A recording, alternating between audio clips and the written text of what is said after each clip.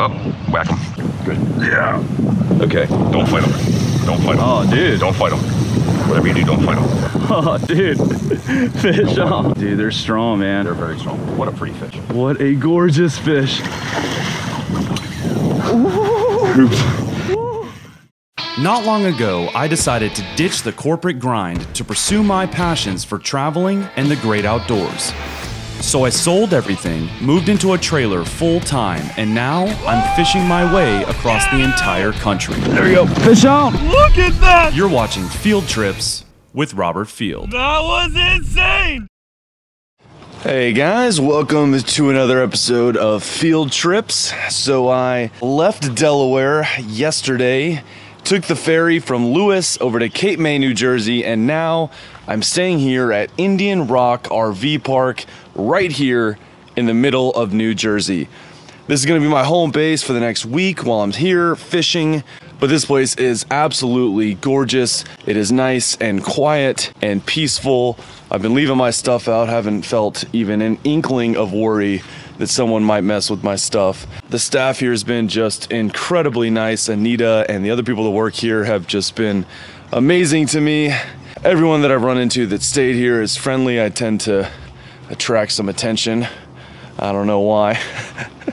really just a cool place. You know, I always think of New Jersey, I think of like big city. That's what I think of, you know, the strong accent, big city. What I've come to realize is that central Jersey is nothing like that. It is all woodlands and beautiful and really kind of like wild in a sense. So, really not what I expected. It's gonna be cool going through the Northeast. I've never been to any of these states. This is my first time even like driving through New Jersey, so uh, I really have no preconceived notions of what to expect in these states. So it's gonna be cool kind of checking them out and probably confirming zero of my preconceived notions. I'm sure all these states are much different than I think they are based on TV and movies. But, anyways, down to business. I am heading down close to Cape May to Stone Harbor, New Jersey, meeting up with a guy, Dan Schafer. They call him Insomniac, or he calls himself Insomniac. I'm really not sure, really not clear, but what I do know is this guy gets on the fish. Everyone I've talked to is like, Insomniac, you gotta go fishing with Insomniac. He probably won't take you, but you gotta hit up Insomniac, try to go with him. Well, sure enough, I hit him up, Dan Schafer. He's gonna take me out, hopefully get on some flounder or sheephead or striper or really, as far as I'm concerned, whatever's biting. But according to everyone else, I'm in good hands. So I'm gonna finish getting my stuff loaded up and then hit the road.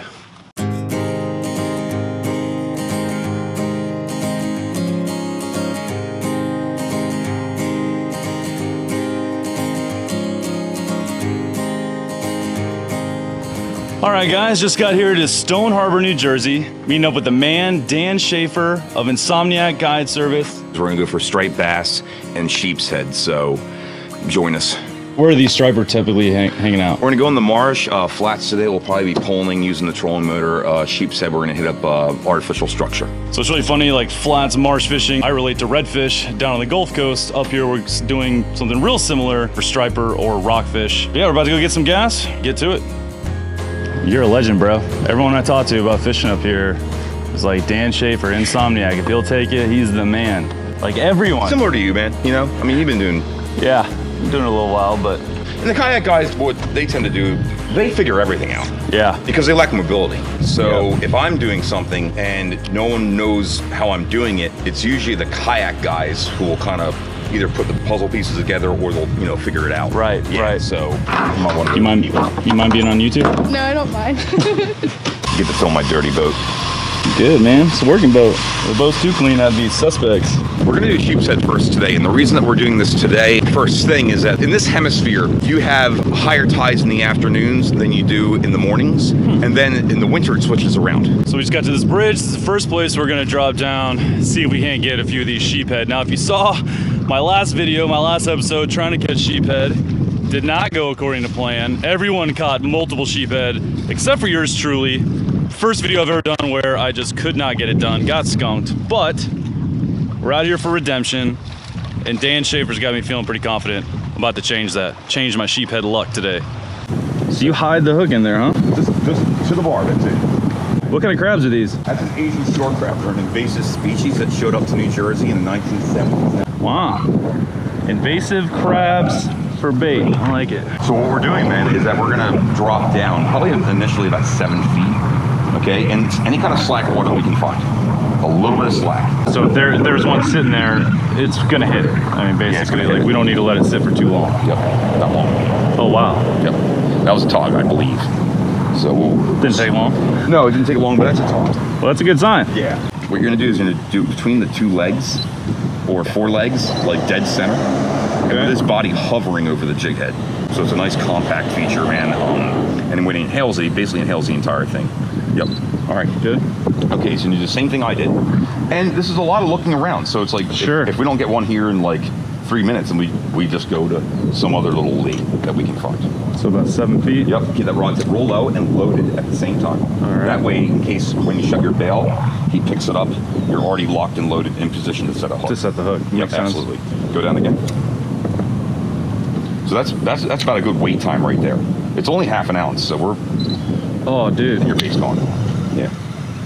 Oh, dude. Yeah. So That was Um, like subtle and quick, yeah. and that. yeah, so we just gotta get back in. All right, so lesson learned, man. No hesitation. No I gotta, hesitation. I gotta rip there's these none. things. So I'm looking up against this. Yep. You see all that food there? It's so like now I know. Like I don't have. Yep. Look at that. On, on, on.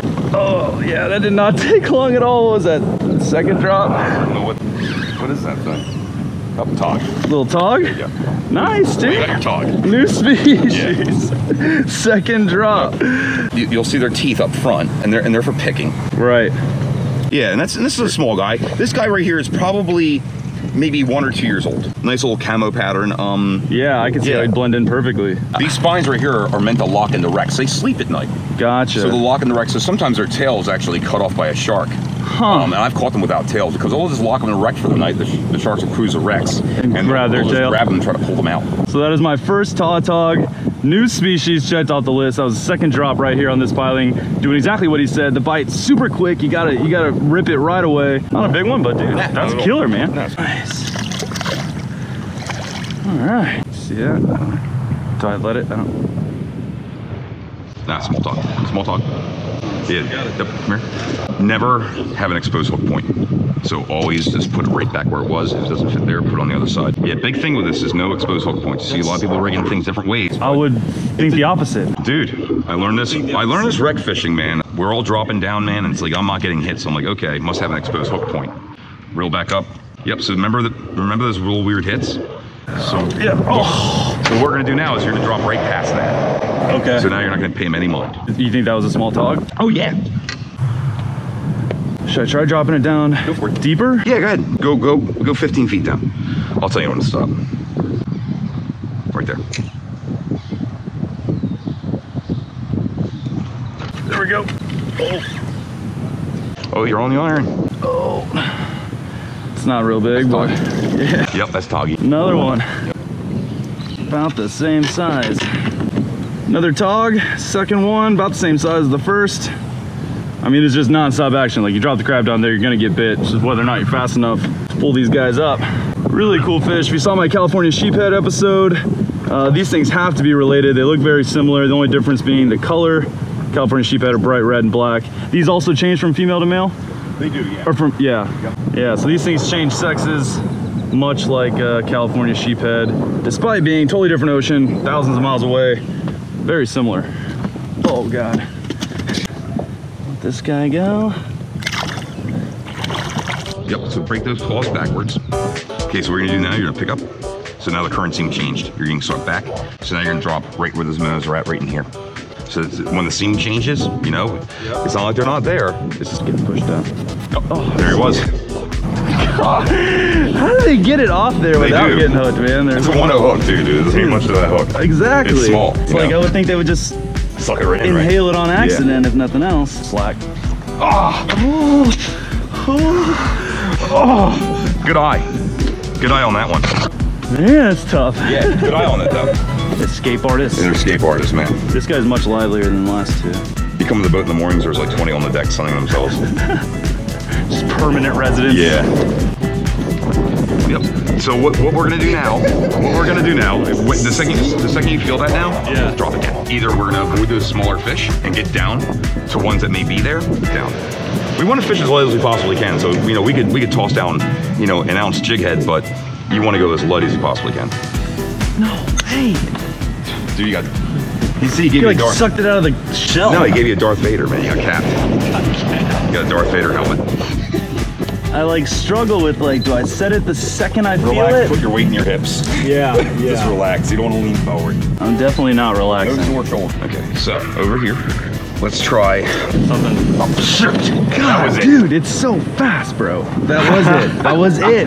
Yeah, so a lot of times you're dropping past them and they're following you down, and that's when you get that immediate hit. Right. Dude. Yeah, you, you, you knew you did. And you knew it before you did it. All right, we'll try to get back on that current seam again. He totally got your crab. Yeah, he got you. These fish, man. I got uh, overconfident after the, the initial success. Got a few fish real quick. Dude, now they're besting me. The left. There you go. Now it's better. Okay. Good drop. Back.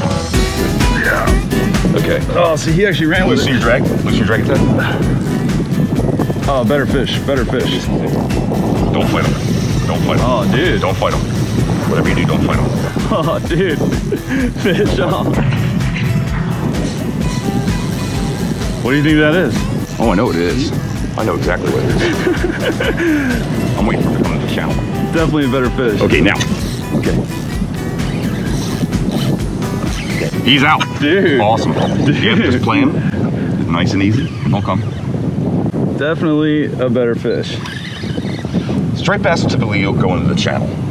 Tog typically won't pull that much drag. Yeah, so you're, you're, you're in for a little bit, man. I'm not sure how big he is. He looks pretty big. Feels pretty But good. yeah, this is this is one fish where you're gonna play him for a little bit. he's coming up now. Yeah, he's coming up.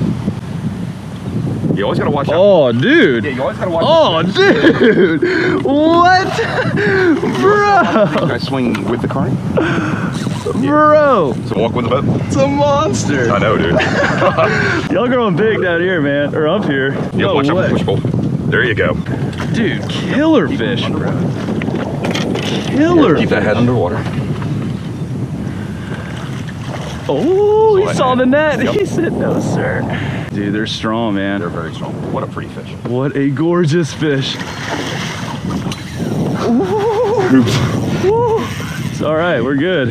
We're good. Can't believe I missed that guy. I couldn't even tell at first if you had it or not. Yeah. All right. Oh, Okay. Bro. Such a strong fish, man. I've always said they fight like snapper almost, like they're built like snapper. Dude! That is Nice. a beast, This is a bro. monster. By far my personal best sheephead right here, you guys. Oh my gosh. Bottom sweeper jig. Dude, bottom sweeper jigs getting it done right now. Yeah. Hell yeah. So yeah. this is uh, definitely a double digit fish, man. Oh, Yeah, the- beauty. look at the dental work on this thing. And I'll, Yeah. I'll show you those crushers in the front too. So yeah, you loosen that drag one on those ponds like that, man, and they'll turn for you. Because if you stood, if you if you stayed there and you and you battle him on those pilings, you're gonna lose. Yeah, right. He's, It's- eventually he's going to get in It's somewhere. a weird hat trick to Yeah. do this. Give them a little bit of line and they'll kind of work their way out. You know, and eventually, do they follow the path of least resistance, which is opposite to what you're doing? Right. And um, they're gonna get on their sides and then plane with the with the current. Yeah. And then you got them out. Perfectly played, dude. That was sick. Yeah. Awesome. So the business end of these sheephead, this is for grabbing uh, barnacles and shrimp and crabs off of these pilings. I mean, human-like teeth, really, really bizarre. And uh, you would not want to get your fingers stuck in that. Yeah. All right, well, that is far and away my new personal best sheephead. Just incredible, such a strong fight. Dan here coached me through the whole thing. I know I would have lost that fish without his his guidance. What a blast, dude! I can't believe we got one that big already. That's, that's incredible. And he's still he's still full of it. Oh yeah, He is still just raring to go. they are such strong fish. There he went. Nice, bro. Awesome, man.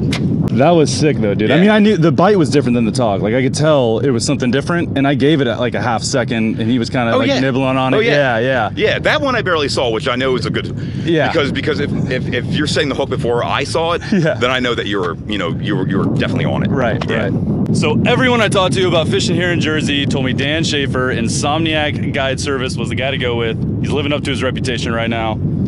That's sick. I can't believe the start to this day, dude. Yeah. Crazy, crazy. I think we're good. Yeah, man. I'd call the sheephead thing a success. absolutely. All right, so we got a couple tog. Got my first sheephead, beast of a sheephead. Monster. Tides have changed, started to slow down, so we're gonna switch gears and go after some striped bass. Now he said that the the wind's not right, the tide's not right, really nothing's right, but we're gonna go give it a shot, see if we can't get on some of these fish. Let's do it, bro. All right. So I'll tell you what, I really had no idea what to expect here in Jersey, but poling on the flats, definitely not in my wildest dreams that I think that's how I'd be fishing up here. But that's exactly what we're doing today. And we're gonna be throwing Rapala Skitterwalk. He says gold is the money. Let's see if we can get on them. But usually that that sudden gush of water. Oh. And there he is. Look at that. Third time he hit it, dude. Third time he hit it. I, I was like, I'm out of room. I'm out of room. I'm gonna screw this up again.